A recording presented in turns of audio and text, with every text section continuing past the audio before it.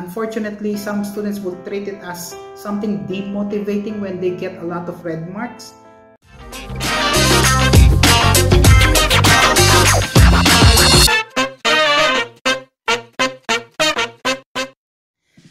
Top three on my list is that um, the worst part is that sometimes we forget the the, the time limitation you know um, yes we are we are uh, required to work during school hours in my case it's 7 to 4 but unfortunately sometimes we work earlier than 7 or we work beyond 4 o'clock.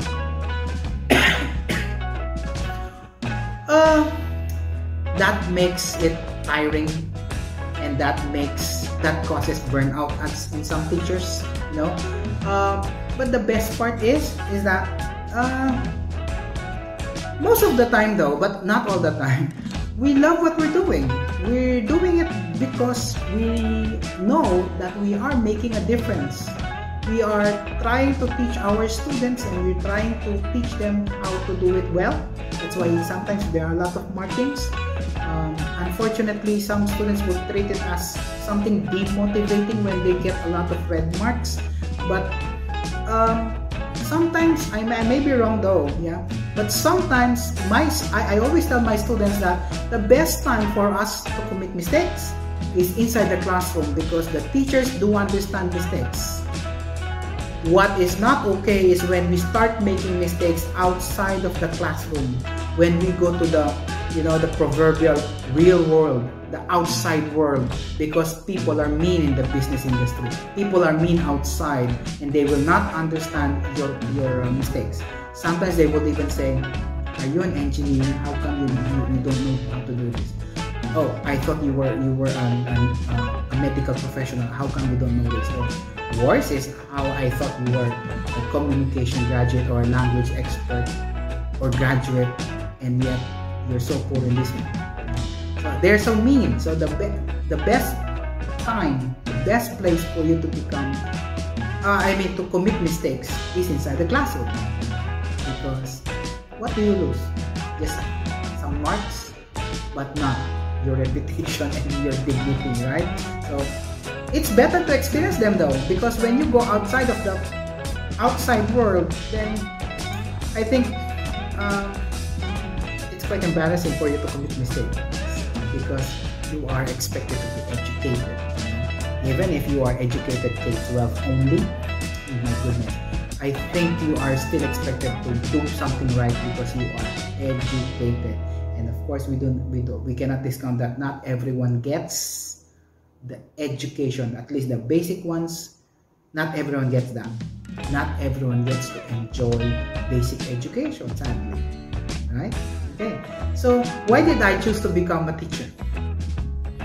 I was not originally um, trained to be a teacher because I am not an education graduate. But of course, eventually, I took my master's in, in teaching, so um, that perhaps sealed why I am now a teacher. But first and foremost, I enjoy sharing knowledge, just like how I do it here in, in my channel. I enjoy sharing. Um, I enjoy talking to people, especially young persons or young people like like my, my students because it, there is that um, um, how do you call that?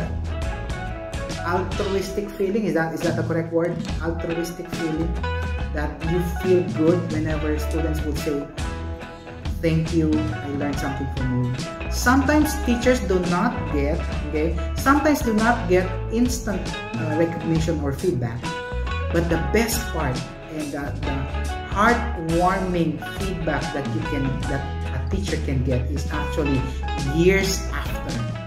I i get that actually. I get those kinds of twitter private messages direct messages from facebook or even in whatsapp and they, they, my students will say thank you very much mr fred uh, because blah blah blah blah blah blah blah blah blah So it, it, it is very heartwarming. Of course, you cannot please everyone. You know, there are also students who may not like you, unfortunately.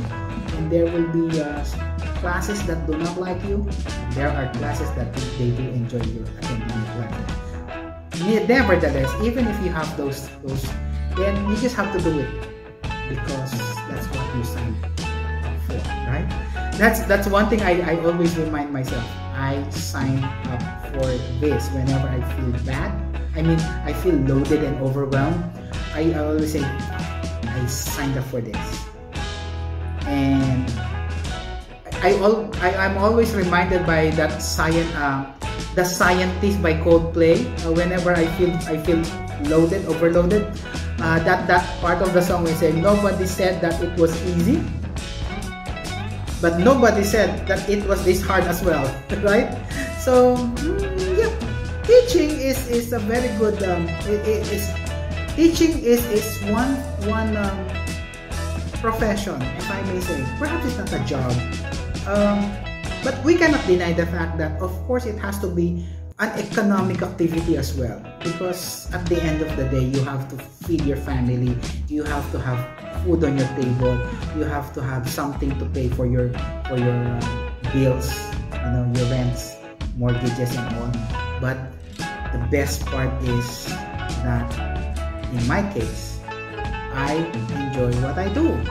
Remember that famous saying that find a job that you like and you never work for the rest of your life? I would say I did. I am very happy to be a teacher and I am always happy to be of service to my students.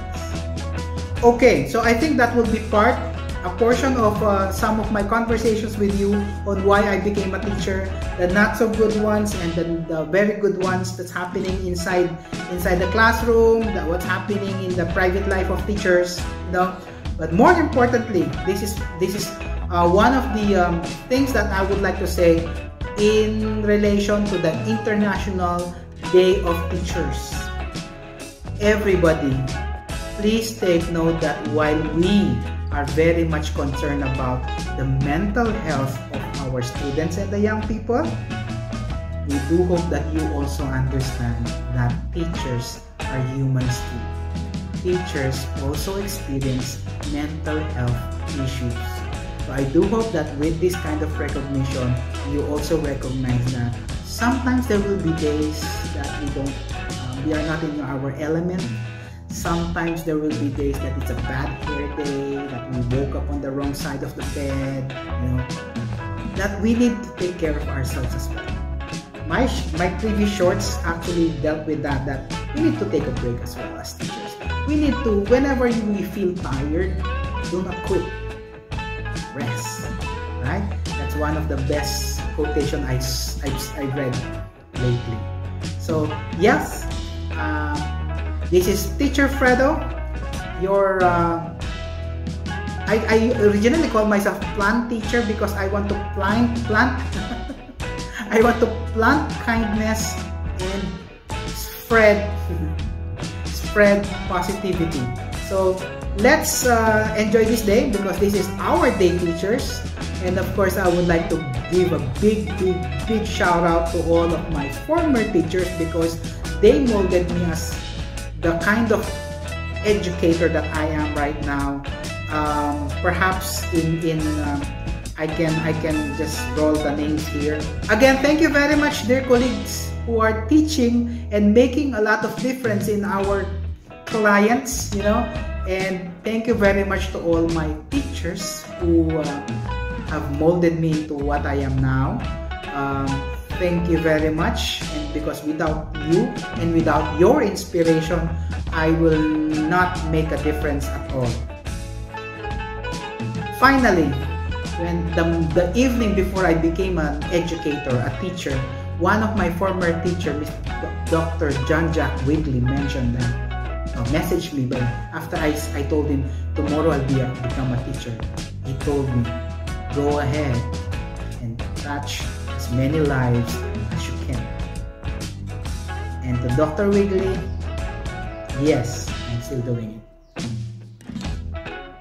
Maraming salamat. Thank you very much. Terima kasih. Dakal pong salamat kaya kayo na. Bye-bye!